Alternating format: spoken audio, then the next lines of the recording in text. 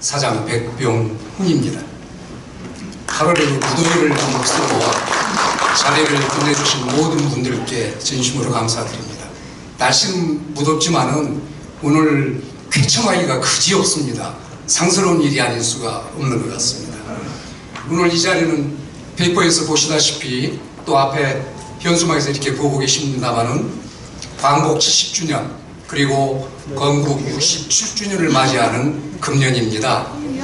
그동안 우리 조국 대한민국을 우리가 어떻게 지키고 발전시켜 왔는가를 되돌아보고 반추하는 소중한 자리가 되는 것 같습니다. 국기에 대하여 경례!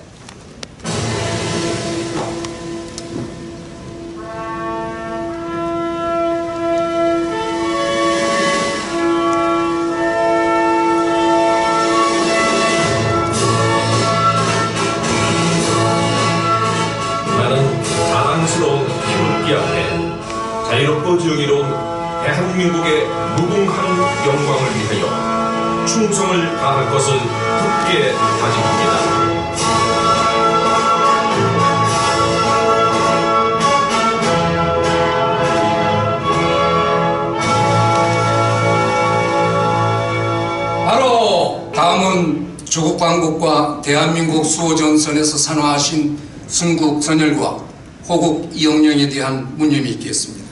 일동 문념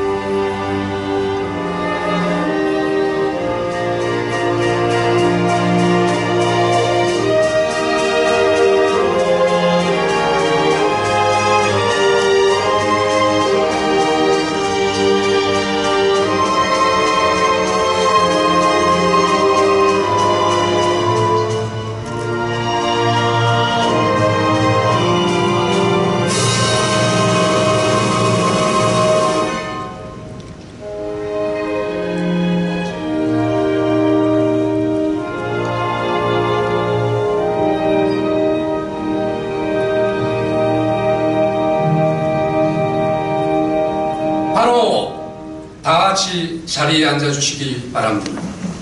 안녕하십니까. 방금 소개받은 고영주 변호사입니다.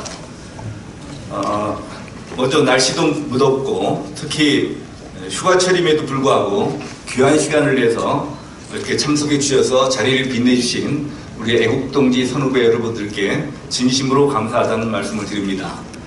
오늘 세미나를 공동 주최하는 국가정상화 추진위원회와 자유민주연구학회, 자유민주연구원은 어, 모두 대한민국의 정통성과 정체성을 확고하게 바로 세울 것을 목적으로 결성된 단체들로서 서로 긴밀하게 유대관계가 형성되어 있기 때문에 사실상 자매단체라고 할 수 있습니다. 그동안 어, 이세 개 단체 중에서 이개 단체 명의로 행사를 공동 주최한 경우는 여러 번 있었습니다만 오늘처럼 3개 단, 단체가 합동으로 세미나를 공동 주최한 것은 아, 이번이 처음입니다. 그 이유는 오늘 세미나의 주제가 대한민국의 정통성과 정체성을 확실히 하는데 너무나도 중요하고 필요한 것이기 때문입니다. 지금 정부와 언론에서는 아, 모두 금년 8월 15일을 제70회 광복절이라고 합니다. 1945년 8월 15일 일본이 패망하고 우리 민족이 해방이 되었으니 어, 민족이 해방된 날을 기념하는 것에 대한민국의 국민으로서 불만이 있을 수가 없습니다. 어, 그런데 이번 광복절을 제70회라고 명명을 하면은 이건 문제가 좀 달라집니다. 아, 그렇게 되면 우리나라는 건국을 기념하지 않는 세계 유일의 나라이고 자칫하면 건국일도 없는 나라가 될 수 있게 되기 때문입니다. 아, 이것은 대한민국의 국가적 정통성에 엄, 엄청난 타격이 되게 됩니다.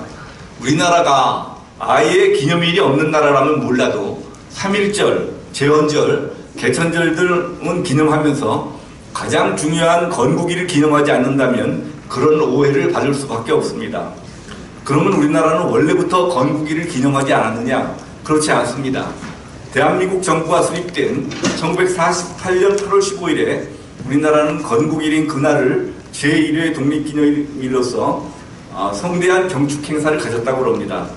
아, 그런데 그해 9월에 국경을 제정에 관한 법률이 국회를 통과하면서 위 독립기념일 명칭이 광복절로 바뀌었는데 광복이라는 의미가 해방과 독립을 포괄, 포괄할 수 있는 용어이기 때문에 그때까지는 별다른 문제가 없었습니다. 그래서 자연스럽게 1950년을 제2의 광복절로 1951년을 제3의 광복절로 경축을 했습니다. 그런데 대한민국의 건국을 부정하고 싶어하는 친북 좌경 언론인들이 1945년 8월 15일을 기준으로 해서 1951년 8월 15일을 제6회 광복절로 부르기 시작하고 아무 생각 없는 정부까지도 부안해동하면서 우리나라에서는 서서히 건국이 잊혀지게 되었습니다. 그래서 이를 바로잡기 위해서 애국진영 일각에서는 광복절의 명칭을 건국절로 바꾸는 운동을 전개하고 있습니다만 이러한 운동의 목적은 당분간은 실현되기 어렵습니다. 어떻게 보면 이렇게 너무나 당연한 주장이 예, 받아들여지지 않는다는 점에 대해서 의문을 가질 분도 계시겠지만 어, 현재 현실을 보면은 대한민국의 건국보다는 일제하의 독립운동에 의미를 두고 싶어하는 광복 회원들이나 대한민국의 건국을 부정하고 싶어하는 친북 좌경 세력들이 반대가 극심하고 한편 대한민국의 정통성 확립에 대해서는 아무런 관심도 없는 복지부동하는 공직자들이 정부의 주류를 형성하고 있는 현 상황에서 실현 가능성이 거의 없다고 보는 것입니다. 아, 그렇기 때문에 아쉬운 대로 이번 광복절에는 정부가 해방 70주년, 건국 67주년이라는 사실이라도 분명히 해주었으면 하는 바람이지만 그것도 여의치 않을 듯 싶습니다. 이렇게 아무 생각이 없는 정부만 믿고 기다리다간 부지 하세월일 테고 언제나 그랬듯이 이번에도 애국 진영이 먼저 여론을 선도하고 또한 솔선수범해야 된다고 생각했습니다. 그래서 이번 세미나 제목은 대한민국 건국 67주년 기념 회고와 진단입니다. 굳이 뭐 특별히 소개를 안 드려도 우리 저 보수파 진영의 고배 같은 분도 이 보수파 진영의 이데올로그로서의 역할을 오늘도 해주시기 기대 부탁드리겠습니다.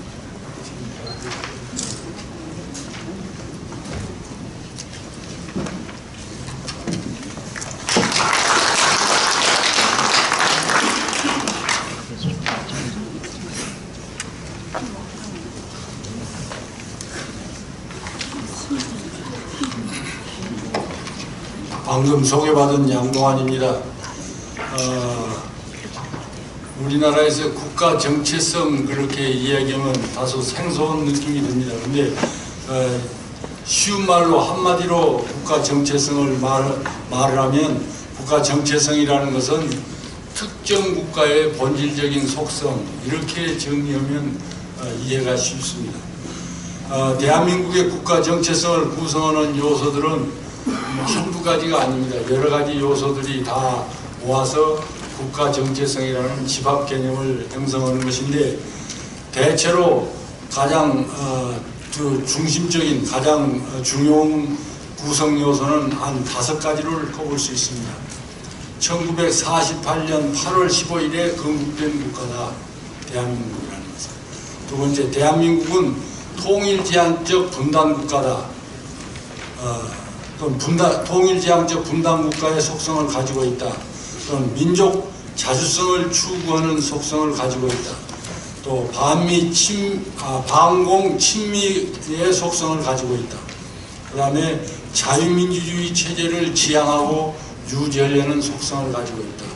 이런 다섯 가지가 대한민국의 에, 정체성을 구성하는 중요한 요소들이다. 이렇게 말할 수 있습니다.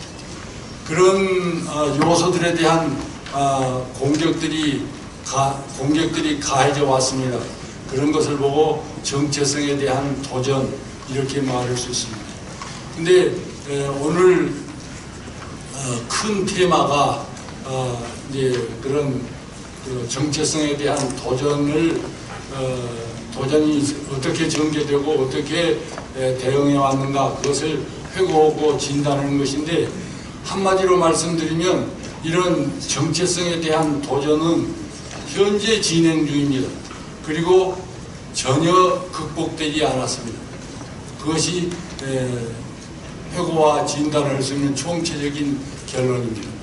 어, 그런데 이런 어, 다섯 가지 에, 대한민국의 정체성 구성 요소들에 대한 어, 도전 상황을 어, 다 어, 일일이 점검하고 그에 대한 대응 상황을 이야기한다면 어, 대체로 어, 논의가 수박 거달기식이 될 가능성이 있습니다. 그래서 저는 오늘 어, 하나에다가 초점을 맞춰 가지고 어, 그것을 저, 어, 이야기해 보려고 합니다.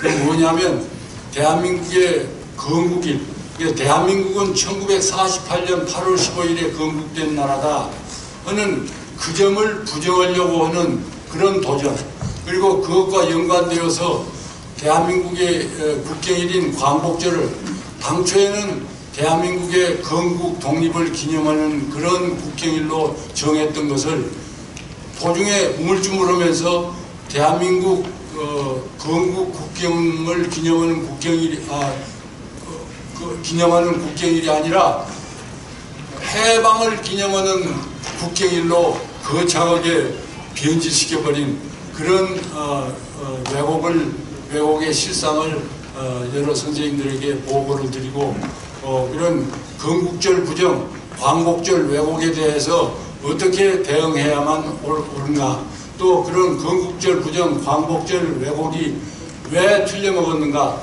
그런 것들에 대해서 짚어보겠습니다. 오늘 해방이냐 광복이냐 혹은 건국이냐의 문제의 본질은 에, 대한민국 내의 상당수의 우리 국민이나 지식인들이 에, 국가에 대한 대한민국에 대한 위대함 우리가 만들고 지키고 발전시켜온 지난 70년, 67년에 대한 그 위대함, 자긍심, 자부심, 또 지켜야 될 가치에 대한 혼동 내지는 흔들림 때문에 이 문제가 초점이 되고 있고 또 중요한 문제다 이렇게 그 생각을 하게 됩니다.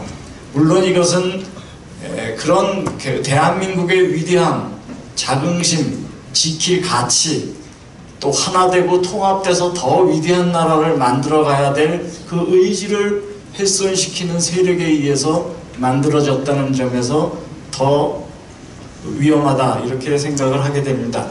오늘 말씀해 주신 양동환 교수님의 의견을 에, 조금 보완하는 형식으로 말씀드리고 싶습니다. 그 자료집에 제가 사진을 하나 가지고 왔습니다. 양동환 선생님 발표 맨 끝에 그 있는 사진입니다. 이 사진은 20 페이지입니다. 예, 1949년 8월 15일에 찍힌 사진입니다. 이 사진 하나가 모든 것을 다 얘기해주고 있습니다.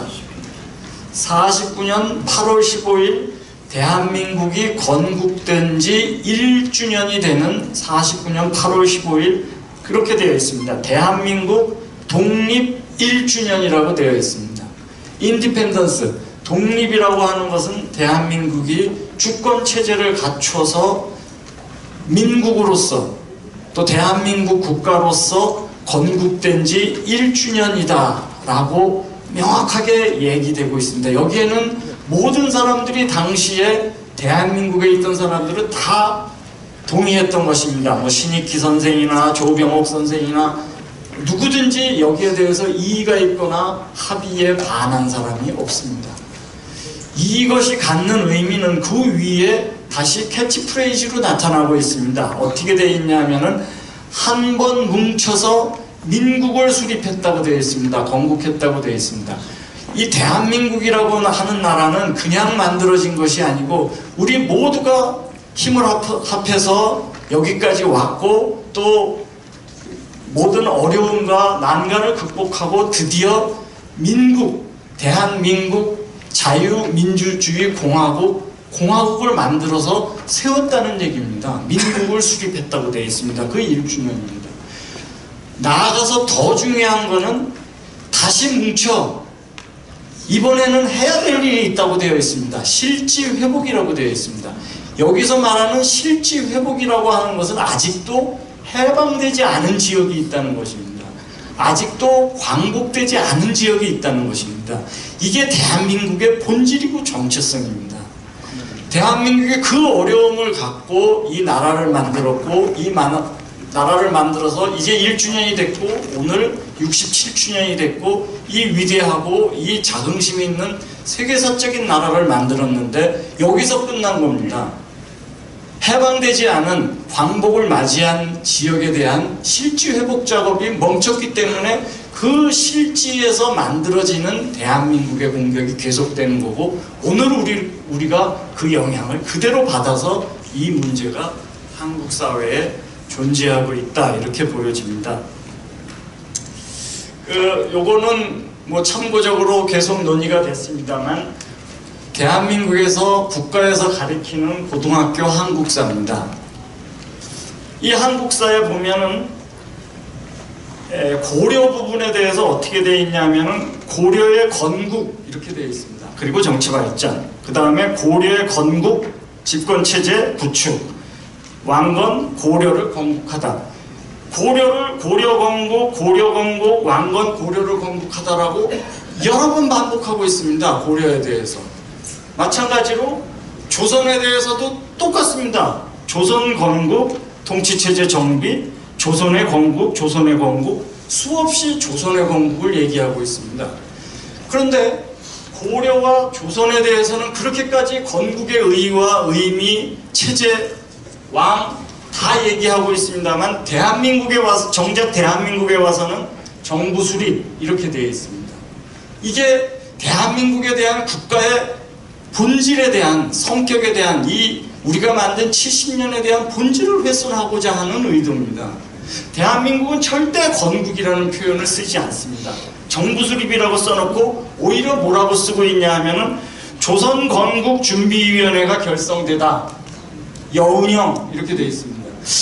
이 건국에 관해서 작년 8월 10달에 우리 김길자 이사장님이 대표로 해서 아마 대한민국 건국해서 이런 책자로 100여 명이 간단하게 칼럼 모아놓은 게 있습니다. 그거를 나중에 한번 귀 대신 읽어보시고 제가 거기에 쓴 글을 보면 우리 김강돈 박사님 지금 얘기한 거 똑같은 얘기가 있고요. 하나만 보완적으로 말씀드리면은 우리가 1948년에 5월 10일 날 에, 재헌 국회의원 선거를 하고 헌법 제정을 했잖아요. 우리가 그걸 헌법 제정 권력의 행사라고 합니다.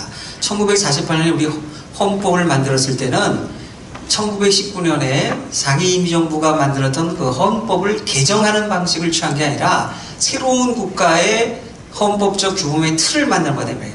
재헌 에, 헌법이고 헌법 제정 권력을 행사해요. 그건 새로운 국가의 출발을 위하여 만든 법적인 헌법적 인프라를 만든 거죠. 그리고 그 또 하나 말씀드리고 싶은 건 상해 임시정부에 대해서는 연합국 어느 나라도 국가 승인, 정부 승인을 한 적이 없습니다.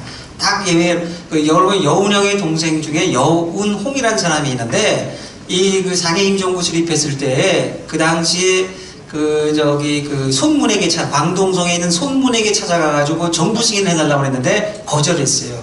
예? 내가 한반도 내에서 하루 한 시간이라도 내가 정 통치를 하면 우리가 승인해 주겠는데 그렇게 예, 할 수 없었잖아요. 그러다가 애걸복걸을 해서 국서를 주고 정부 승인을 했다라는 그 유력한 입장이 있습니다. 그러나 소문을 계승한 누구야 그 장계석은 정부를 인정하지 않았어요. 상해임 정부에 대해서. 그 다음에 상해임 정부가 행했던 사실상의 외교 활동이 있습니다. 구미위원부를 설치해서 무슨 어 이 저기 뭐야 이, 그 백악관을 두드리고 광복군에게 대해서 교전단체로 인정해달라 정부를 인정 안 했습니다. 그래서 대한민국 정부가 수립이 되면서 이 이승만 대통령 하에 그 정부가 상해임 정부가 했던 대외적인 외교 활동을 추인하거나 그 효력을 인정해야 하는 제3국가의 관계에서 한 적이 단 한 건도 없다 이 말이에요. 그러니까 대한민국은 새롭게 출발한 것이다. 그래서 우리가 대한민국은 건국이라고 하는 것이 맞고 근데 그럼에도 불구하고 뭐냐 금성 출판사 같은 데는 조선민주주의인민공화국 창건 수립 거기는 공화국 국가 수립이고 창건이고 대한민국은 정부를 수립했다. 그래서 지금 북한은 국가고 대한민국은 정부에 불과하다. 상해임 정부가 그리고서 이 좌파들은 종부 세력은 1919년 건국소를 얘기하는데 이거는 엄청난 역사적인 에, 뭐 정체성뿐만 아니라 역사적 인식에 오르다. 그럼에도 불구하고 노무현 정부에서 어땠습니까? 예, 제가 친일 반민족회의 진상규명위원회 위원으로 4년 6개월 활동했습니다. 한나라당에 추천을 해갖고 그, 그, 그 이후에 인천 김선우 선생은 기- 이승만 대통령을 도와서 대한민국 건국에 많은 역할을 했죠. 조선민주당. 예? 그런데 김성수는 친일파로 지금 낙인 찍고 깎아내리고 건국훈장 박탈하려고 그러는데 노무현 정부 때 여운형과 권준, 인민공화국을 만들려는 여운형과 박헌영이 처 주세주기에 대해서는 건국훈장을 줬어요. 이게 국가 정체성 흔든 거죠. 이게 엄청나게. 그 다음에 이 좌파들은 말이죠. 대한민국 국가 정체성 흔들 때 꼭 뭐냐면 대한민국은 친일파가 세운 나라다. 대한민국은 국가 정통성이 없다. 북한은 정통성이고. 맨그 항상 이렇게 이- 얘기를 하는 거예요. 이게 에, 문제고. 그 다음에 그 지금은 건국 70주년인데 건국 60주년 10년 전으로 돌아가면 여러분 우리나라에서 어떤 일이었습니까? 노무현 정부였죠? 어떤 일이 있었습니까? 이 강정구 교수를 위시해 갖고 저 인천에서 말이에요 메가도 동상 끌어내리기 운동 있잖아요 그렇죠? 그러면서 메가동 동- 메가도 대통령은 분단의 집단리 그 다음에 6.25 전쟁을 일으킨 그 주범이고 장본인이고 어? 그 다음에 이거는 전범이고 뭐 이런 식으로 예? 김일성의 남친에 대해서는 전범 얘기 안 하고 말이야 이, 이 우리 뭐야 예? 메가더에서 얘기를 했어요. 그래 뭐냐 6.25 전쟁에 대한 그 폄하. 그래서 그 당시에 제가 그 저그 SBS인가 MBC인가 토론 나가서 그 아침에 토론 나가는데 이장희 교수하고 또 저하고 붙었어요. 그래서 아 미군이 개입을 하지 않았으면 우리 그때 통일됐을 거다 말이야. 예? 미군이 개입하지 않았으면 통일됐을 거라고 얘기합니다. 그래서 지금 분단이 고통이 저는 뭐라고 답변했냐면은 중공군이 개입 안 했으면 우리가 그때 통일됐을 거다 말이야. 예? 우리가 압록강 두마강에 진격했지 않습니까? 북한의 남침은 전범이고 침략 전쟁을 일으킨다고 그 다음에 중공군은 침략자를 먼저 했잖아요. 그래서 1951년에 유엔 총회 결의청에서 침략자로 낙인을 찍습니다. 이거는 미국이나 이 16개국 연합군은 남침을 당한 대한민국 피친국을 원조하게 해서 뭐 응원군이고 말이에요. 유엔 헌장 에 따라 체제하에서 유엔 안보리 결의해서 온 거 아닙니까? 이거 어떻게 동격으로 봅니까? 그러면서 예, 이 통일 전쟁이다 이런 식으로 강정구가 얘기를 했죠. 네, 그럼 시간이 에, 좀 촉박하기 때문에 에, 유동열 원장님께서 20분만 발표하시고 토론자께서 10분 에, 각각 토론해 주시고 나머지 10분에 대해서는 플로어의 질문을 받고 보충 설명하는 시간으로 하겠습니다. 네, 그럼 유동열 원장님의 발제가 있겠습니다. 하고 우리 그 토론자들의 말씀을 드리는 것 같습니다. 우리 저기 두 분 토론자가 그 대한민국 최고의 안보 전문가 하늘에 계신 어르신이고 또 사회를 보시지만 우리 유성호 원장님도 이 분야의 실무와 이론을 겸비하신 최고의 전문가이기 때문에 제가 10분 정도로 제 발제문이 이미 여러분에게 배포가 되어 있기 때문에 간략하게 10분 정도 하고 이 토론을 좀 많이 해주십사 하는 의미에서 좀 빨리 끝내겠습니다. 제가 맡은 주제는 이제 대한민국 건국 67주년인데 67주년 동안 어떻게 대한민국의 국가안보가 위협을 받아왔고 위협을 어떻게 극복했는가 하는 문제입니다. 그래서 앞으로의 과제는 뭔가 하는 문제를 가지고 제가 이 지금 발제문에다가 정리를 해놨습니다. 제가 그 광복 61주년, 건국 67주년을 생각하면서 제일 느꼈다는 것은 여러분 1948년 8월 15일 날 신생 대한민국이 수립됐을 때 그때 국민소득이 45달러였습니다. 1년 동안 우리 대한민국 전체 국민의 국민소득이 45달러에 불과했습니다. 전 세계에서 가장 못 사는 나라였습니다. 이런 나라가 6.25 남친 전쟁을 3년 겪은 다음에 전 국토가 산업들이 촉도가 돼가지고 이 전 세계 지식인들 언론에서는 대한민국은 끝났다고 그랬습니다. 포기한 대한민국이 2000년대 전 세계 12위권의 경제 강국이 됐어요. 여기에다가 우리가 체육 문화뿐만 어, 문화에서도 대한민국 세계 최 선진국 대열에 지금 나눴습니다. 여러분 그 지구위를 보십시오. 지구위 보면 대한민국이 어디 붙어 있는가 찾기가 어려울 정도였습니다. 초등학교 때. 이 작은 나라가 남북으로 분단됐는데 이 분단된 나라가 불과 70년도 안 돼가지고 전 세계 10위권의 경제 강국이 됐다. 이거 엄청난 일입니다. 이걸 갖다가 전 세계가 기적이라고 합니다. 기적. 기적이다. 한강의 기적이다. 기적이 뭡니까? 현실 세계에서는 일어날 수 있- 없는 일이 일어났기 때문에 기적이라고 이렇게 전 세계가 대한민국의 발전을 갖다 벤치마킹 하기 위해서 연구하기 위해서 많은 노력을 하고 있는데 유독 북한하고 국내 총국 세력 등이 대한민국은 태어나서는 안 될 이런 나라로 취급하면서 대한민국을 평화하고 파괴 공격하기 위해서 혈안이 됐다는 거죠. 제 여기서 우리가 중요한 게 뭐냐면 어떻게 지켰는가를 제가 오늘 말씀을 드려야 되는데 여기서 중요한 게 뭐냐면 대한민국이 세계 10위권의 경제 대국으로 나가는 데 있어서 그 동력이 뭐냐 이 동력을 잘 보셔야 됩니다. 첫 번째가 뭐냐면 튼튼한 안보였습니다. 안정. 무슨 말이냐면 대한민국을 파괴 전복하는 움직임이 대한민국 정부가 수립되기 전부터 바로 조선공산당과 이 북한의 세력으로부터 있었어요. 이걸 다 막아냈습니다. 6.25 남침전쟁 막아내고 무려 말이죠. 10만여 건의 대남 테러 도발을 하고 정전협정 위반이 50만 건에 달합니다. 이런 70년 동안 엄청난 도전을 받고도 대한민국을 지켜냈고 그리고 사회를 안정시켰어요. 이 군과 경찰과 국민들이요. 이러한 노력이 오늘 날 대한민국의 기적을 이룬 겁니다. 두 번째는 뭐냐? 어려운 근로 환경 속에서 열심히 일해준 산업 여건들 이 사람들 자꾸 뭐 노동단에 뭐 이렇게 무수한 자격을 하면 안 됩니다. 산업 여건들 이분들의 희생, 헌신 그리고 엄청난 기술 개발 이게 두 번째 원동력이었습니다. 세 번째 운동이 뭐냐? 대한민국 잘 살아보겠다고 경제발전 5개 년 계획을 수립하고 대한민국의 경제발전 이끈 national will 그런 대통령의 그런 노력과 국민들의 의지가 합쳐가지고 국가적 의지가 된 겁니다. 이 레셔널 윈이 또 이 세계 10위권의 경제강국에 엄청나게 기여됐어요. 그 다음 마지막으로 대한민국의 자유민주주의 발전을 위해서 요새 말하는 짝퉁 민주화운동가들 말고 반국가 이적 활동에서 민주화운동이라고 떠드는 세력 말고 진정으로 대한민국의 자유민주화 발전을 위해서 헌신한 분들의 노력 이게 얽혀져 가지고 오늘날 대한민국이 있었던 겁니다. 바로 기본적인 토대가 국가안보와 사회 안정이었습니다. 그래서 제가 오늘 주제가 이건데 자 그런데 문제가 뭐냐 지금 이 시기 시대에 국가안보를 얘기하면요 수국 꼴통 세력으로 시대착오적으로 생각하는 분위기가 우리 사회 일각에 있습니다. 여기 앞에 계신 어르신들은 절대 그렇지. 그렇지만은 우리 사회 일각에서 안보의 중요성을 얘기하면 조금 뭐 어? 수국 꼴통적인 시각이다.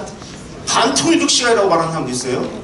자료를 보면은 이게 사실은 평범한 자료가 아닙니다. 아, 여러분들이 이 자료를 한 번 읽고 쭉 그러면 뭔 소리인지 이게 몰라요. 또 읽고 또 읽고 몇 분을 읽으시면 제가 가만히 생각하니까 우리 사회에 종북주의자 이적 세력들을 감별하는 병아리 감별사 비슷한 능력을 갖겠구나 이제 이런 생각을 해요.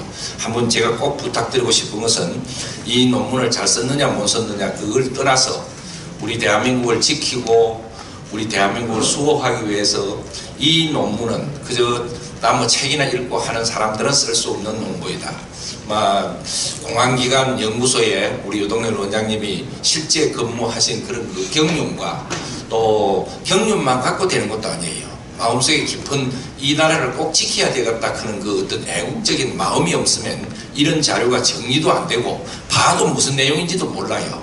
요 무서운 집념을 가지고 꼭 요 세력들은 내가 아, 이런 게 그런 세력이다 하는 걸 밝히고 그 세력들의 실체가 저 원조는 북한이고 거기에 따르는 또 하나의 집단은 어, 우리 종북 세력이고 또 해외에 있는 막 이런 협조하는 세력이고 이런 분류니 그게 아무나 하는 게 아닙니다. 막 그런 면에서 제가 총평을 저도 뭐 평생 이런 분야에 에, 연구하고 하는 사람으로서 참 고맙다. 옛날에 성균관대학교 이명경 교수님이 이런 걸 계속 하실 때 저분 돌아가시고 누가 할까?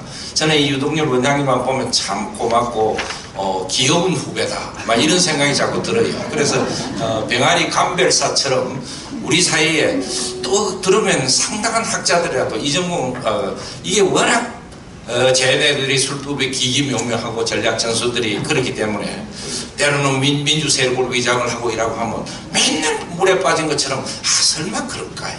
이번에는 진짜 변하겠지. 무슨 여사가 올라가면 이번에는 누가 만나고 이제 무슨 계기가 되겠지. 택도 없는 소리들만 하고 있는 거는 이런 걸 전혀 모르기 때문에 그 아이들의 실체가 모르기 때문에 일어나는 현상입니다. 그래서 이 논문은 어, 함부로 무슨 어, 뭐 표현이 잘 됐다 못됐다 그런 게 아니고 누구나 정리하지 못하는 정말 그 분야의 에, 자료도 소- 어, 어, 근무하면서 손이 닿을 수 있었고 그리고 무서운 애국심도 있었고 집념을 가지고 꼭 요 세력들은 내가 한번 다스려 봐야 되겠다 하는 그런 그 작품이다 보고 어, 몇분 읽어보고 또 전파도 하고 요약해갖고 외우기도 하고 이제 이렇게 해야 이게 값이 나는 그런 논문이다. 막 이 정도 평가하면 그 노력한 게 에, 되겠습니다. 어, 이게 이 논문에 대한 종평이고 어, 제가 이렇게 볼 때에 그 중에서도 꼭 유념해야 될 것 한 두 가지만 말씀을 드리고 그 다음에 이제 제가 이렇게 볼 때에 막 같은 내용입니다만은 막 크게 이렇게 막 보완적인 어쩌면 이런 이야기로 가야 될 거 아니냐 하는 걸 말씀드리고 끝내도록 하겠습니다.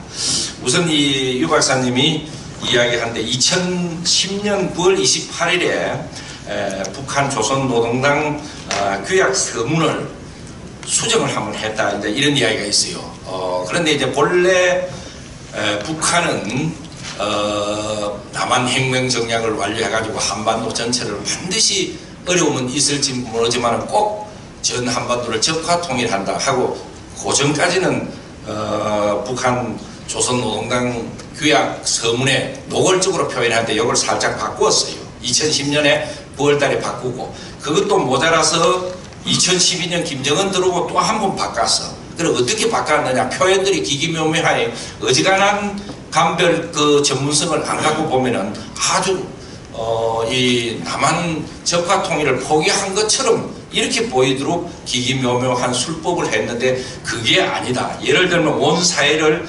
김일성, 김정일 주의하에 인민대중의 자주성을 완전히 신뢰하는 데 있다. 이게 결국 남한을 끝내 적화 통일하겠다 그런 표현이에요. 그걸 온 사회를 그러면 뭐 북쪽 사회 중 말고 김일성, 김정일 주의하에 인민 대중의 자주성을 완전히 실현하게 되어 있다. 아, 자주성 갖는 게 빌빌 따라다니는 것보다는 좋지 않느냐. 이렇게 해석만 해버리면 아무것도 모르는 거예요. 이게 안까마귀인지 쑥까마귀인지 무엇인지 그런 거니까 이제 이렇게 위장 전술을 쓰고 있다 하면서 이게 여기서 활동하는 종북소리들은 이게 무슨 소리인지 금방 알아요. 여기에 따라서 활동을 하고 하는 건데 이런 걸 갖다가 아, 이렇게 시대에 따라서 어, 사술적인 변화를 하고 있는 것을 아주 이런 전문가들이 잡아내면서 그게 그 뜻이다 하는 것도 지적해주고 또 알려주고 이렇게 하는 게 이 논문의 많은 기타 장점이지만은 제가 구체적으로 하나 예를 든 겁니다.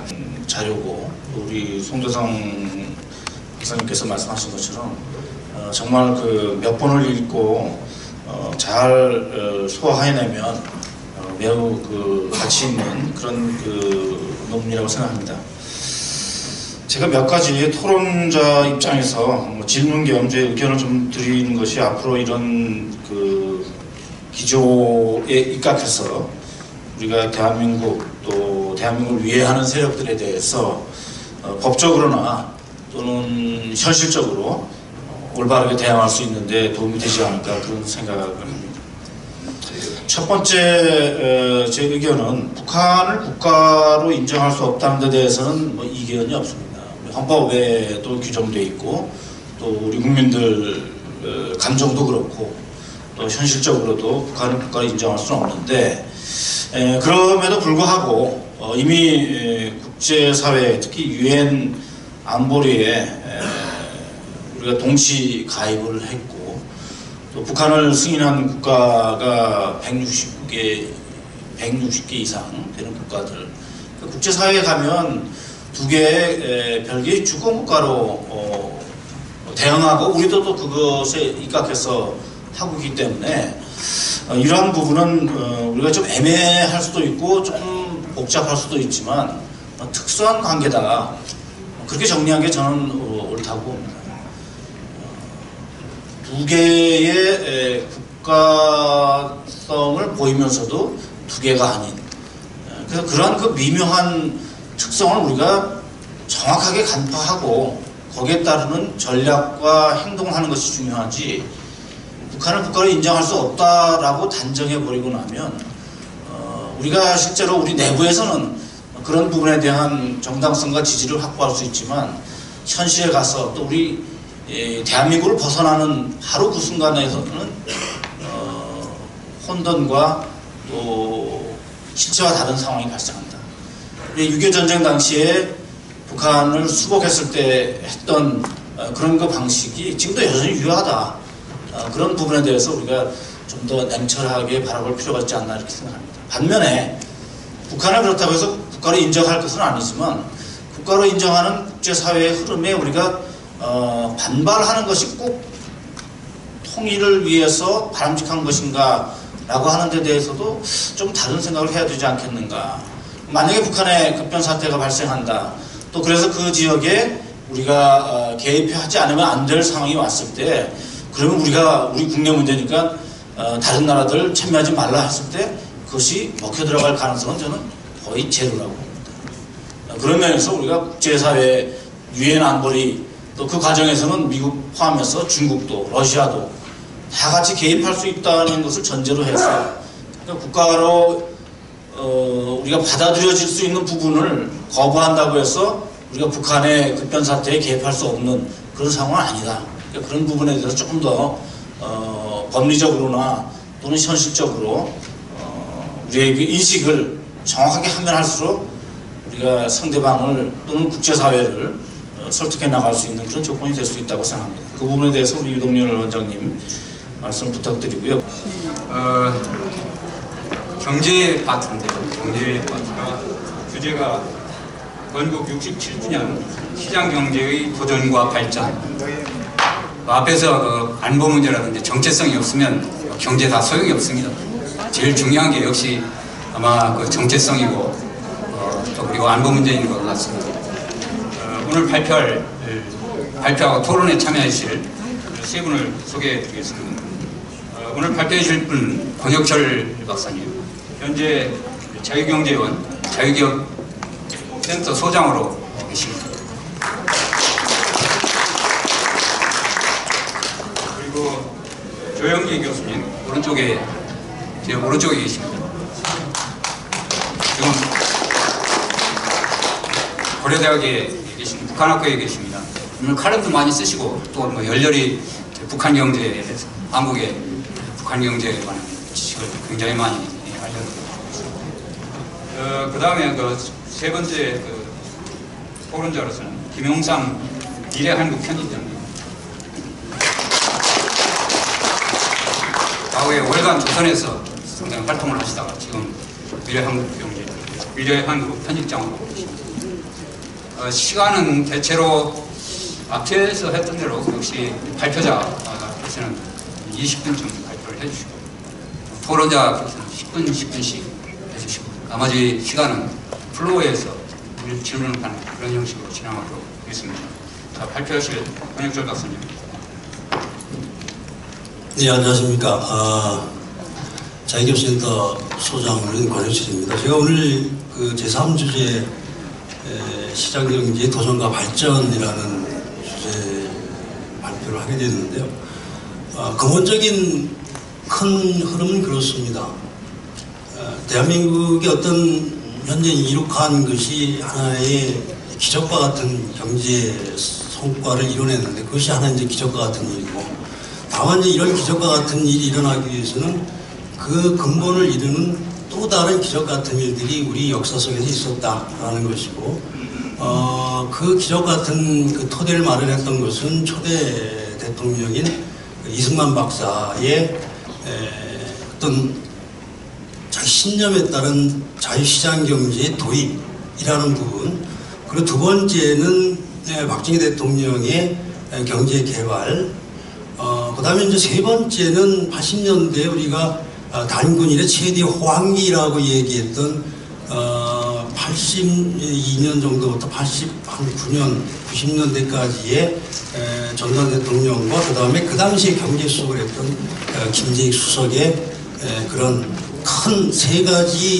이 뭐라 그럴까 기간 기간에서의 한국 경제의 어떤 기본적인 토대가 에, 굳건하게 닫혔다 아, 갖춰졌다라고 있는 거고 그 중간에 한번 이제 경제가 또는 시장이라는 것이 정부에 의해서 상당히 좌지우지되는 부분들이 있었고 그다음에 이제 87년 이후에는 제가 87년 체제라고 어, 했습니다만 그 이후에 상당히 정부가 시장과 경제에 에, 상당히 개입을 하면서 현재 우리가 지금 겪고 있는 여러 가지 경제적인 난점들을 어, 초래하고 있다라는 것이 기본적인 스토리입니다. 음, 따라서 결론적으로도 이제 어떤 부분으로 나가야 되느냐 하면은 87 체제로 인해서 현재 상당히 악화된 자유시장 경제 활력을 또는 정부의 규제에 의해 가지고 상당히 묶여져 있는 이런 그 경제 활력을 과연 어떤 방향 풀어낼 것이 방향은 당연한 것이죠. 자유시장 경제의 활력을 되살리는 방향으로 해야 된다는 것이고 네, 그 중에 하나라는 것이 지금 보면은 지금 어, 박근혜 정부 들어와서 어, 조금 균효된 감이 있습니다만 그래도 시작을 하고 있는 것이 노동개혁도 결국은 자유시장 경제 체제로의 전환을 시도하기 위한 저는 한 걸음도 아니고 반 걸음 정도에 불과하다. 왜냐 우리 그 권혁철 박사님이 지금 말씀해 주신 그의 핵심 요지는 아마 제도가 매우 중요하다.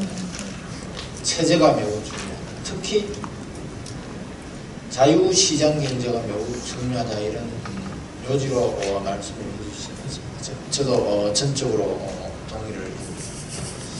저희가 오늘 건국 67주년 이제 우리의 역사를 조금 더 뒤로 어, 거슬러 올라가 보겠습니다. 사실은 저는 1918년이 한국 사회에서 굉장히 중요한 음, 분기점이다 이렇게 했습니다.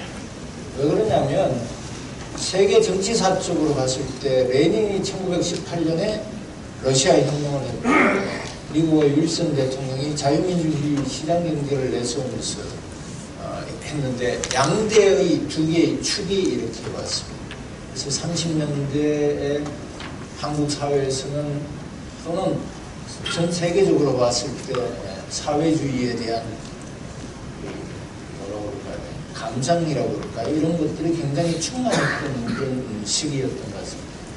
저희도 어, 역사를 보면 우리 사회에서 어, 독립운동을 하신 분들이 광복을 위해서 사회주의를 깃틀로 내세우고 어, 주장하신 분들이 굉장히 많은데 이 과정 중에서 우리가 사회주의를 선택할 것인가 아니면 자유민주주의를 선택할 것인가 아, 공산주의를 선택할 것인가 사회주의를 예, 자유민주주의를 선택할 것인가 이 문제는 경제학적인 관점에서 봤을 때 자본주의 시장 경제를 선택할 건가 아니면 사회주의 계획 경제를 선택할 것인가와도 어, 직결되는 문제이다. 그래서 분단이라는 것이 우리에게는 어떤 측면에서는 굉장히 아픈 과거이지만 사실 연구하는 사람들 또는 한국 사회에 있는 많은 학자들에게는 두 개의 현실을 직접적으로 체험할 수 있었다는 측면에서 학자들에게는 어떤 의미에서는 굉장히 좀 역설적인 이야기 합니다만 굉장히 행운이었을지도 몰라요. 왜냐하면 두 개를 직접적으로 비교할 수 있는 곳이 바로 한국이었기 때문에 그렇다. 아, 우리 예전에 광고 카페 이런 거가 있었습니다. 순간의 선택이 10년을 좌우한다. 냉장고 순, 그 광고였던 것 같아요. 우리도 제도 또는 체제를 어떤 체제를 선택하는가는 그때 당시에는 모릅니다. 한 4, 50년 정도 지나고 나니까 그 결과가 엄청난 차이로 왔다. 우리 권혁철 박사님이 그 이야기를 안 했는데 한국이 지금 세계 속에서 위상이 어느 정도 높아졌느냐면 경제적으로 봤을 때는 2050 클럽이라고 들어갔습니다. 그게 이제 2050 클럽이 어떤 클럽이냐면 국민소득 2만 달러에 인구 5천만 되는 나라의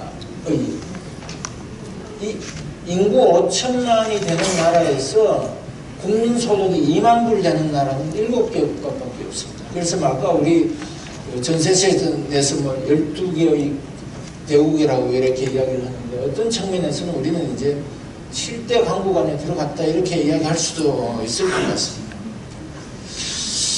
아, 제가 이 북한 경제를 하기 때문에 북한 경제가 왜 그러면 쪼그라들었는지 지금 이런 모양이 되는 여러분들이 다 알고 계신 것처럼 해방 직후에는 분명히 북한의 산업 현황이나 모든 것이 전부 다 북한이 훨씬 더 좋았다. 그런데 왜 이런 현상들이 왔는가? 아까 우리 권혁철 소장 어, 박사님이 잠깐 이야기한 것처럼 어떤 제도를 선택하는가에 따라서 이것은 확연하게 차이가 날 수밖에 없는 것이다. 왜 차이가 나는가? 아, 레닌이 쓴 굉장히 그 재미있는 책이 하나 있습니다. 그게 국가와 혁명이라는 책인데 그 국가와 혁명이라는 책에서 이런 아주 간단한 이야기를 합니다. 하나의 사무실, 하나의 공장입니다. 계획 경제를 이렇게 표현했습니다. 하나의 사무실, 하나의 공장. 이것은 어떤 측면에서는 모든 국가의 경제 활동을 누가 관장을 합니까? 국가가 관장을 합니다. 여기서부터 시작해서 북한 경제가 또는 계획 경제가 시장 경제하고 차이가 날 수밖에 없는 어, 권혁철 박사님의 그 토론문을 제가 읽으면서 어, 한 가지 생각을 하게 됐습니다. 어, 국가의 역할, 그 다음에 지도자의 역할, 관료들의 역할들, 어, 이런 부분들이 잘 정리가 되어 있는데요. 어, 그런데 우리가 여기서 눈여겨봐야 될 부분은 액션들은 누가 하느냐. 지도자가 계획은 세울 수 있고 정부 관료들이 플랜을 짤 수는 있지만 이 짠 플랜을 가지고 현장에 나가서 기계를 사다가 물건을 만들고 그 만든 물건을 마케팅을 하고 해외로 수출을 해서 돈을 벌어서 그것이 지속성장 가능한 그래서 끊임없는 발전을 통해서 우리 국가를 키워온 것은 누구냐 하는 부분에 대해서는 좀 조명이 안 돼 있는 것 같아서 저는 토론 시간을 제가 그 부분에 관해서 말씀을 드리도록 하겠습니다. 어, 공산주의 국가에서는 삼성전자라든지 뭐 LG, 현대자동차 이런 기업이 없습니다. 왜냐하면 다 국가 소유이기 때문에요. 그렇다면 우리가 가지고 있는 강점 그리고 우리가 북한보다 정말 훨씬 형편없이 못 살던 시기부터 시작을 해서 여기까지 오는 과정에서 결국은 기업가들의 역할도 지대했다는 점을 우리가 인정을 해야만 대한민국의 발전의 양축이 형성이 됩니다. 그래서 저는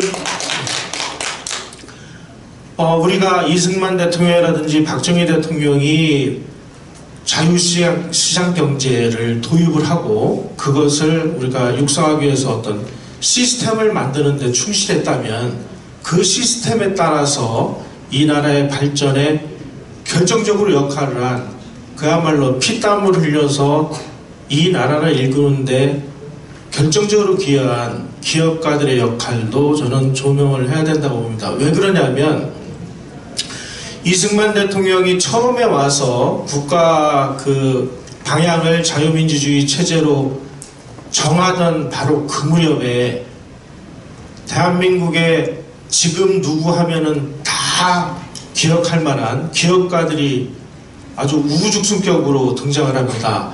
이병철 회장, 정주영 회장, LG 그룹을 만든 구인회 회장, 뭐 기타 등등 뭐 수많은 기업인들이 등장을 합니다. 바로 그 기업인들이 자유시장 경제, 자유민주주의 체제가 아니었다면 과연 그런 활동을 할 수 있었겠을까요?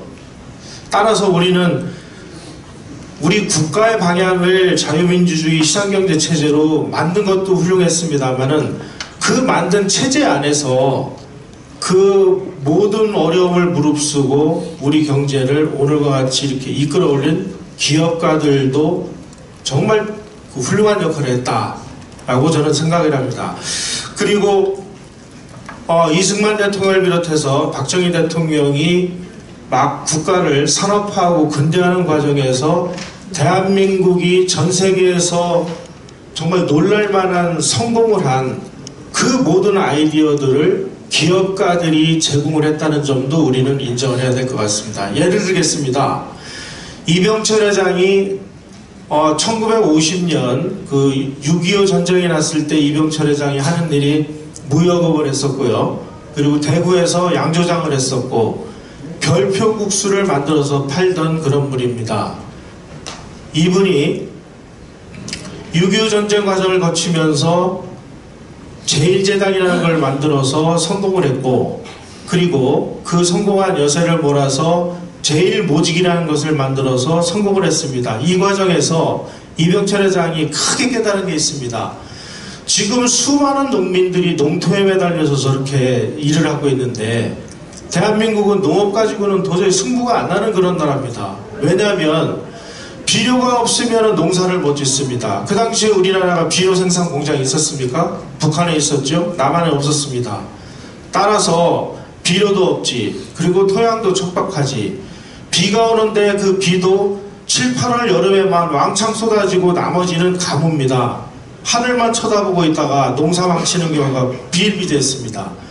농사져서 국민들을 배불리 먹이지도 못해서 20세기 초반까지 우리 국민들의 모든 소망이 쌀밥에 고깃국이나 마저 배 터지게 먹어보자 라는 게 우리 국민의 소망이지 않았습니까?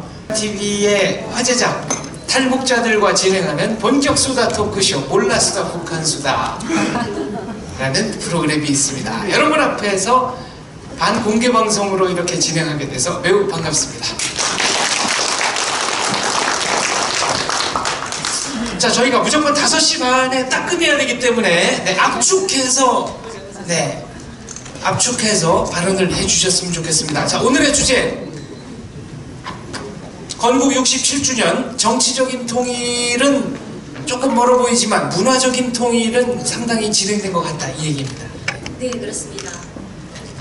네, 어, 북한에서도 그 중국을 통해서 많은 문화적인 게 많이 한국 에 보, 어, 보급이 돼서 저부터도 97년도에 탈북해서 참 긴 세월이 됐지만 그 전에 이미 어, 트로트를 접했고요. 그랬든 지금은 너무나도 많은 네, 어, 문화적인 게 많이 들어가 있어서 저, 뭐 한국 한류가 한류의 열풍을 북한에서 똑같이 지금 예, 몸을 흡수하고 있습니다. 북한에서 트로트 들으면은 이거 뭐 저 일제 시대 제국주의 음악이라고 뭐라고 안 그러나요?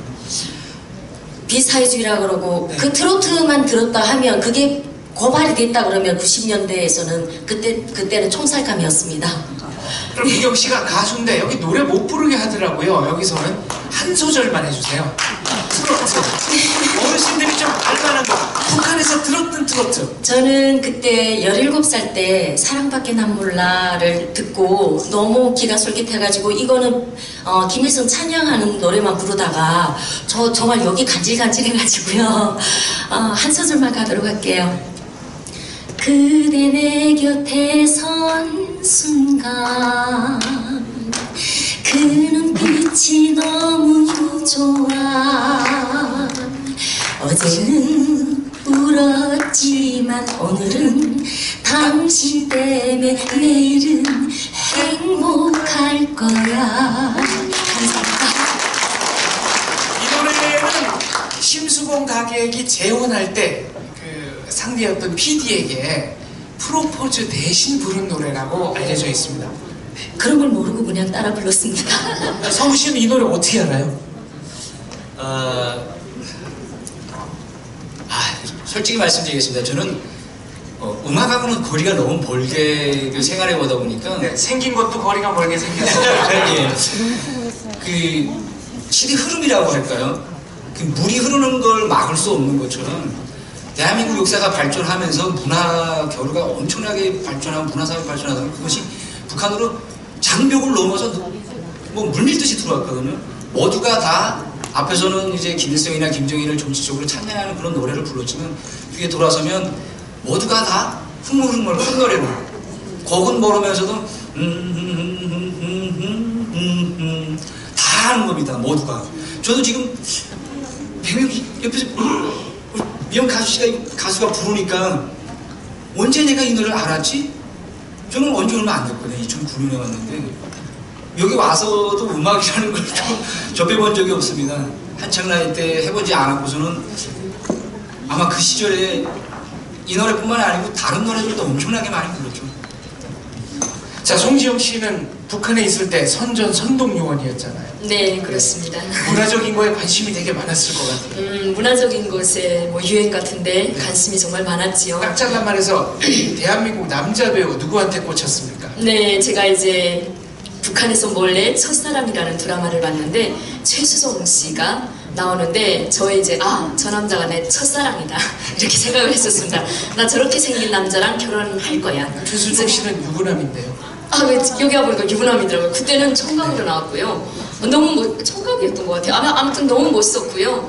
그 첫사랑이라는 드라마를 제가 그 마지막 부까지 다 봤거든요. 그래서 92년도에 대한민국이랑 중국이랑 수교를 맺었습니다. 그래서 중국에서 대한민국의 모든 문화를 다 따라하기 시작하는 거예요. 연변 조선족 자치주 방송이라는 곳에서 예전에는 북한 아나운서의 말투를 흉내냈었는데 수교를 맺은 다음부터는 대한민국 아나운서들이 말투를 흉내내면서 그 연변 조선족 자치주 아가씨들이 그 방송을 하는 거예요. 자, 백문이 불여일견. 저희는 네. 설명하는 것보다 이렇게 탁 잘라서 한번 보여주세요. 그러면 수교 전에 방송 샘플. 네, 그뭐 예를 든다면 뭐 오늘의 날씨입니다. 이렇게 북한식으로 이렇게 해야 되는데 오늘의 날씨는 뭐뭐 오늘의 날씨는 뭐 이렇게 흐렸다가 이렇게 되겠습니다. 뭐 이런 식으로 서울식으로 나른나른하게 말을 하더라고요. 북한, 어, 북한식도 한번 해주세요. 네. 오늘의 날씨는 비가 오다가 뭐 이런 식으로 이제 해야 되는데 이제 서울식으로 이제 하니까 너무 깜짝 놀라서 쟤네 말투가 언제 바뀌었지? 제가 그때 깜짝 놀랐습니다. 저는 그때 92년도에 대한민국과 중국이 원수지간이었잖아요. 중국은 한미 원조를 북한 쪽에 했습니다. 6.25 전쟁 때. 근데 수교를 맺었다고 하니까 너무 깜짝 놀랐거든요. 그러니까 수교를 맺으니까 중국에서 많은 조선 족 분들이 일을 하러 중국 쪽으로 이제 대한민국으로 오셨고 또 북한 쪽에서는 중국에 돈을 벌러 가면 가족들이 모두 대한민국으로 돈을 벌러 가서 집이 텅 비었다 이런 말들이 많이 돌았습니다. 근데 그게 무슨 소린가 했거든요. 그러면서 중국에서 대한민국의 모든 문화를 받아들이면서 또 북한하고 중국하고는 입술하고 이빨 사이라 압록강 이천리, 두만강 천리로 연결되어 있지 않습니까? 그러다 보니까 자연히 교류하게 되어 있습니다. 그래서 중국에서 대한민국의 모든 문화가 들어가면 중국의 대한민국의 그 문화가 고스란히 북한 쪽으로 넘어가다 보니까 뭐 드라마뿐만 아니라 노래 무슨 뭐 제가 본 드라마는 첫사랑뿐만 아니라 토마토 비단양권 뭐 이브의 모든 곳 경찰 특공대 그리고 뭐 모욕탕집 남자들. 뭐 그게 이제 그 재밌더라고요. 모욕탕집 남자들 같은 거는 어 저런 것도 있나? 뭐 이렇게 제가 막 깜짝 놀라게 그렇게 봤던 기억이 납니다. 그 중에서도 제가 제일 기억에 남았던 거는 경찰 특공대. 그러니까 우리 북한에서는 맨날 뭐 백만군 백만군 하면서 우리 인민군대는 항상 일당백이고 한 사람이 이제 100명의 이제 적을 무찌른다는 그런 뜻이지 않습니까? 근데 경찰 특공대에서 나오는 그분들이 옷차림이라든지 뭐 이제 청이라든지 복장이라든지 보니까 저게 미국 사람들인가? 막 저는 정말 놀랐어요. 북한 군대들은 군복도 뭐 1년에 한두 번도 겨우 주는데 너무 군복이 번쩍번쩍하고 무기들이 막 삐까번쩍해가지고 과연 우리 인민군대가 저런, 저렇게 무장한 남자 군대들이랑 싸우면 이길까 맨날 이긴다고 말은 하는데 너무 놀랐습니다. 충격이었습니다. 문화 충격이었지요. 자, 경찰 특공대 드라마 얘기도 나왔고 말투 얘기도 나왔는데 미경 씨는 가수니까 좀 민감할 것 같습니다. 이런데 네. 말투 얘기할까요? 아니면 경찰 특공대 드라마? 어, 다 좋은데요. 저는 글쎄요. 어, 저희 아버지가 음, 33년생이다 보니까 좀 조금 개그진 얘기 좀 해드릴게요. 어, 얼마나 남북이 틀린지, 얼마, 얼마나 다른 데서 그 67년을 70년 가까이 왔는지. 어, 어느 하루는 아버지가 집, 집에 갔는데 이렇게 이렇게 불러요. 막, 막내야 이렇게 가니까요. 주머니에서 꼬깃꼬깃 돈을 꺼내주시면서 옷 가서 사 입어라 그러시는 거예요. 다들 놀랐, 놀랍죠?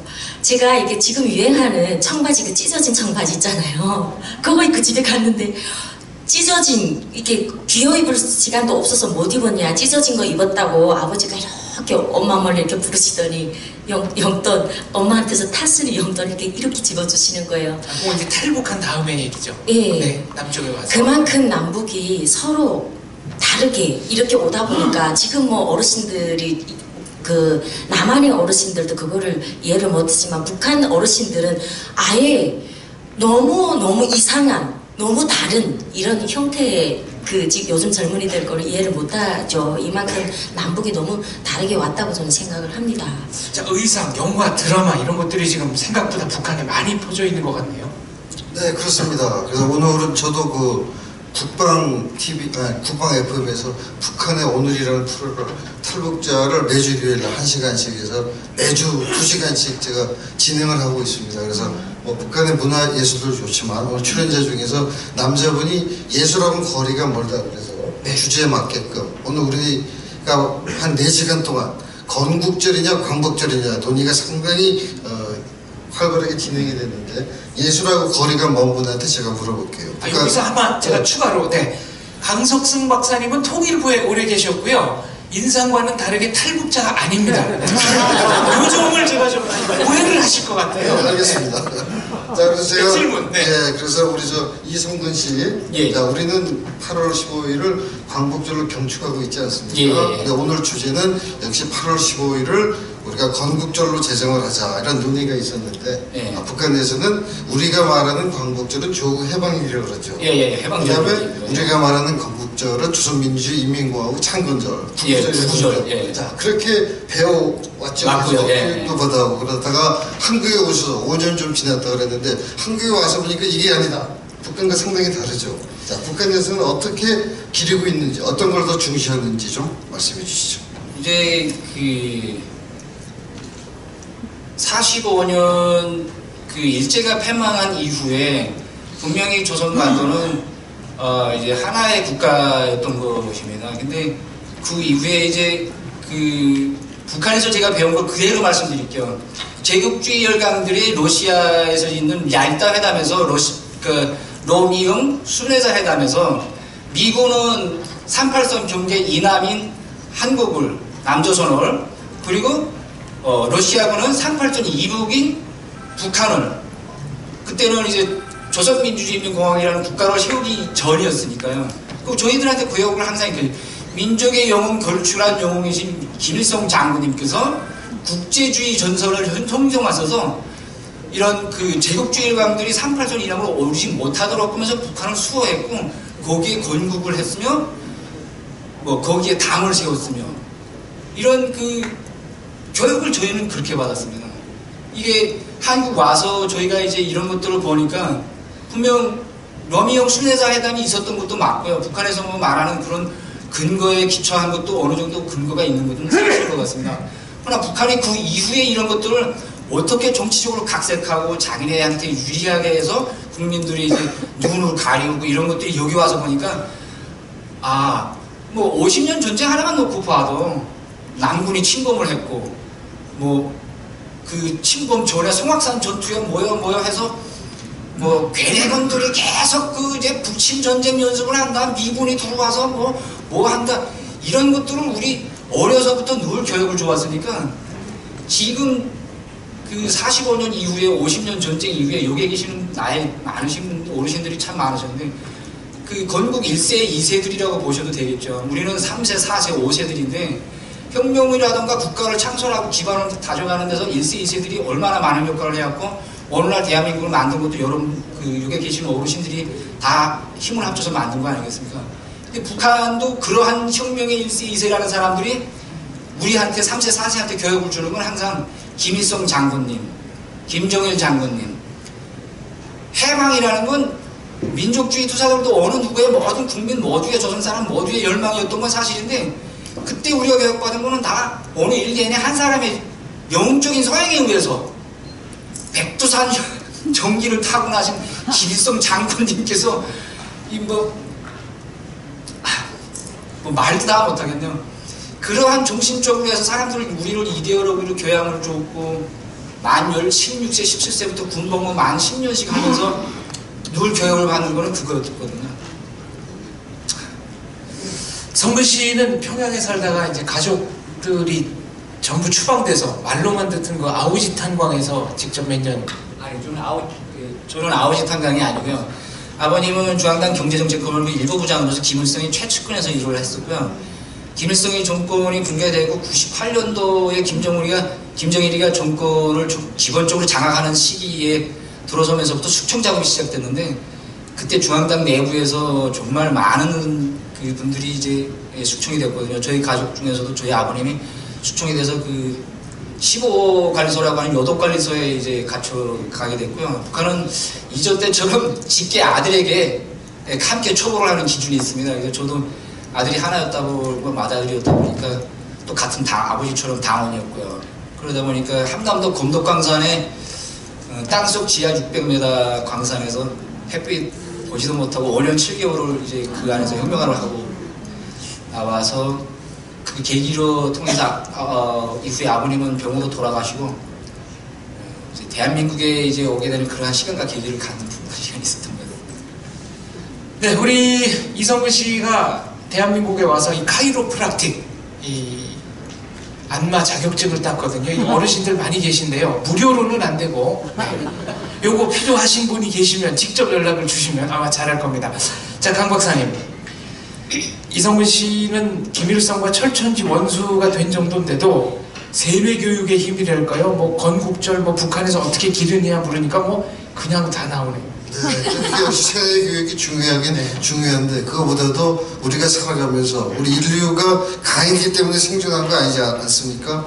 인류가 여태껏 다른 중 가운데서도 유일하게 아, 번영을 구가하는 것은 바로 중요한 게 바로 이성근 씨처럼 변화를 아주 잘했기 때문에 이렇게 생존하고 또 좋은 그 기술도 가지고 있는 것이 아닌가 생각이 듭니다. 옆에 앉은 송지영 씨한테는 뭐 물어보실 거 없으십니까? 송지영 씨는 탈북자 출신 대한민국 공무원 1호.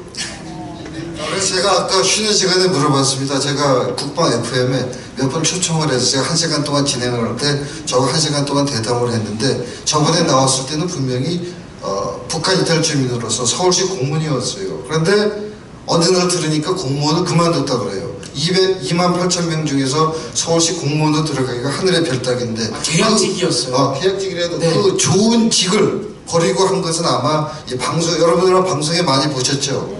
북한 아나운서라 그래서 아마 그 이 방송의 마력에 빠진 것 같아요. 어떻습니까? 본인한테 직접 한번 들어보죠. 네, 제가 잘리운 게 아니고요. 제가 사직서를 내고 나가지 말라고 붙잡는 걸 제가 박차고 나왔습니다. 네, 물론 뭐 계약직이라는 것도 있었지만 어, 이제 정말 공무원이라는 일자리는 제, 제가 정말 북한에서도 꿈꿔볼 수 없었던 평양 시당에서 일하는 것처럼 영광스러운 자리였고 또 거기서 일할 때가 보람차고 정말 행복했습니다. 그렇지만 또 저희 예, 천성이 천성인지라 저는 공- 공무원하고 공무원보다는 안- 방송적으로 오히려 더 저한테 이제 잘 어울리고 그쪽으로 하는 것이 통일을 위해서 또 우리 북한에 남아있는 우리 동포들을 위해서 기여하는 것이 맞겠다 하고 생각을 했기 때문에 거침없이 아낌없이 사직표를 제출했습니다. 자, 저희가 시간을 압축해서 쓰고 있는데요. 지금 현재 시간이 5시 25분입니다. 그래서 미경 씨한테 여기 어르신들이 다 아실 만한 노래 북한에서도 일제시대 노래는 부르는 게 금지가 아니죠. 예, 금지가 아니죠. 근데 금지된 곡들이 많죠. 어, 그, 저는 지금 아리랑을 이 대목에서 좀 말씀드리고 싶은데요. 아리랑을 제가 접했던 건 7살 때 접했거든요. 저희 엄마가 3대 성악, 김일성 시대 때 3대 성악가의 한 사람이었어요. 피바다 가겠다는 일기생이고요. 어, 그러면서 79년도에 러시아로 가던 비행기가 폭파하는 일이 있으면, 있으면서 엄마는 그때 림파성 그, 암 수술을 받으러 지방을 내려오시면서 유일하게 남으신 분 중에 한 사람입니다. 그래가지고 그 정 떨어져 가지고 겁나서 가겠어요. 그래서 거기서 내려오셔가지고 다른 길을 이렇게 가셨거든요. 근데 엄마한테서 제가 일곱 살때 어, 채찍질 맞, 맞으면서 아리랑을 배웠습니다. 그게 그 계기가 되면서 지금 가수의 길을 북한에서도 노래밖에 배운 게 없고요. 한국 와서도 어, 가수의 길을 가게 됐는데 가수의 길이 정말 어렵더라고요. 근데 어, 아버지 할아버지가 경상도 마산 출신이셔요. 그리고 독립군이셨고요. 그렇게 해서 중국을 가면서 아버지네 칠남매를 낳으셨어요. 그래서 아버지 고향은 활용입니다. 그렇게 해서 제가 마산을 알고 싶어서 뿌리를 알고 싶어서 인터넷 뒤져보다 보니까 대한민국에 와서 2개월 만에 어, 반열 일회가요제를 나가면서 거기서 그 동상을 받으면서 대한민국 가수협회 가수증을 받으면서 가, 가수를 이렇게 성장하게 되면서 어, 또 4년이라는 기간에 걸쳐서 엄마 아빠부터 큰언니네 식구 둘째 언니네 식구 오빠네 식구 가족 단일이 이렇게 해서 기획 행복을 하셨군요. 열두 명이 네. 대한민국에서 살고 있습니다. 그래서 감사합니다. 고맙습니다. 그 지금 말씀하신 아리랑이 춘사 나온규 선생님의 영화 아리랑에 나오는 아리랑이죠. 예, 저는 모르고 사실은 모르고 노래를 했거든요. 네. 아리랑이 너무 좋아서 할 때마다 너무 짠하고 뭔가가 모르는 이런 어, 참 덤덤함도 있고 왠지 모르게 눈물 좀 나고 이러더라고요. 해서 한 소절 부탁드리겠습니다. 3분 남았습니다. 그 제가 그냥 이렇게 펴- 그 가사를 다 바꿔서 지금은 그 방송계에 신의를 다 걸쳐서 부르고 다니고 있거든요. 근데 오리지널로 하실래요? 근데 다는 못하겠고 제가 3절에서 왔다 갔다 하는 남북의 똑같은 그 저 제가 개사 한 부분만 할게요. 아리랑 아 리랑 아라리요.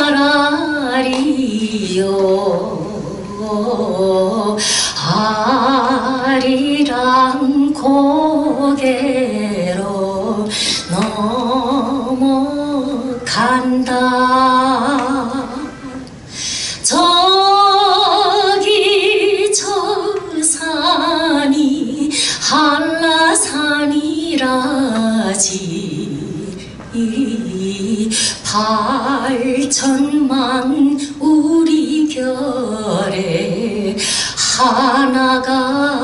된다. 저기 저 산이 백두산이라지. 팔천만 우리 결에 하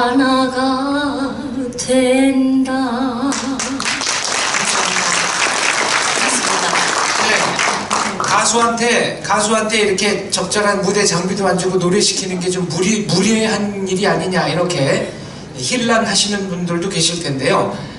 여기 지금 프레스 센터에서 반주기 동원해서 노래하지 말라고 그래서 갑자기 통보를 받았습니다. 어저께. 그랬는데 유동열 원장님이 원래 노래 몇 곡 부르는 걸로 하고 출연료를 지불하니까 최대한 사회자가 알아서 본전을 뽑아달라 이런 말씀을 하셔가지고 제가 이렇게 네, 실례인 줄 알면서도 몇 곡 부탁을 드렸습니다.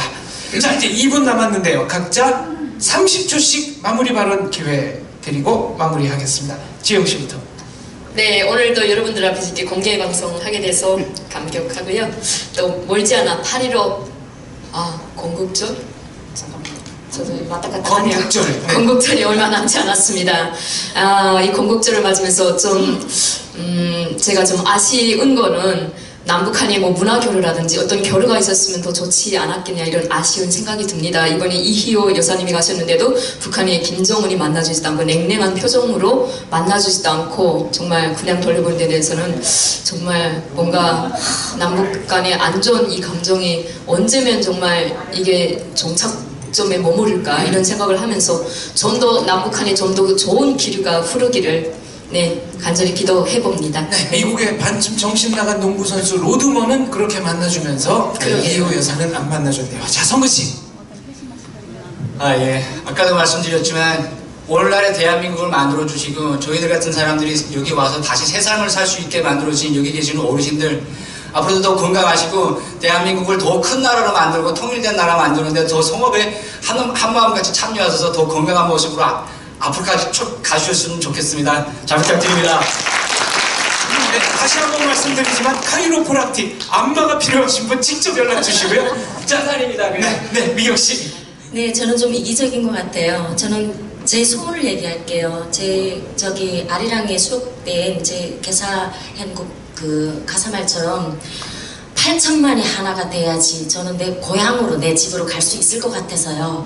8천만이 하나가 되는 새 나라를 새 나라를 건국하기 위해서 우리 모두 하나가 되야 된다고 저는 생각합니다. 8천만이 하나가 되는 그날까지 저는 우리 아리랑을 끝까지 소리쳐 불러 달리겠습니다. 고맙습니다. 아까 서은 씨가 50년 전 제가 6.25를 얘기하는 것 같은데 김일성 얘기할 때 제가 살짝 살짝 위태위태했습니다. 왜냐면은 여기 저 건국 대통령 이승만 대통령의 양자이신 이인수 박사님이랑 조혜자 여사가 저기 바로 지금 앞줄에 앉아 계신데 어 근데 이승만 대통령 얘기 잘못 나오면 어, 분위기 냉랭해질까봐 네. 다행히 넘어갔습니다. 자 강석승 박사님께 총평 말씀 부탁드리고 마무리하겠습니다. 네, 지금 한국 사회는 이 법적인 용어로는 북한 이탈 주민이라고 그럽니다. 근데 그것이 당사자들 좀, 좀 듣기 싫어하니까 통칭 탈북민이라고 그러는데 이 2만 8천여 명의 탈북민 가운데 이 단상에 앉아서 얘기를 한다는 것은 성공한 바늘에 드는 탈북민이죠. 그래서 앞으로 한국 사회에서 지속적으로 성장 발전을 해서 우뚝 설 수 있는 통일 예비병으로 좀 활동을 해주시고 오늘 주제에 관련해서 조금 여러분들이 잘 모르시겠지만 더 많이 배우셔서 조국이 해방이 되고 광복이 된 것은 김일성이 항일 발산 활동을 한 것이 아니라 모든 것이 왜곡 날조 또는 조작을 한 것이라는 게 명명백백하니까 좀 더 많이 공부를 하셔서 이런 기회나 또는 탈북민을 대상으로 하는 프로에서 김일성이 김씨 일가가 이렇게 항일 발산 활동을 허위로 날조 조작했다라는 것을 자꾸 이렇게 전파를 하게 되면 그 방송을 들으신 북한 주민들이 보고 아 이거 김씨 왕조는 전혀 아니구나 해서 그런 그 어, 시너지 효과를 좀 거두기를 기대해 봅니다. 이상입니다. 오늘은 저희가 대한민국 건국 67주년 회고와 진단이라는 세미나를 열었습니다. 매년 이맘때는 자유통일호 첫 건국절 행사 기념 세미나를 열기를 강력하게 희망하면서 모든 순서 이것으로 마치도록 하겠습니다. 감사합니다. 감사합니다. 긴 시간 잘-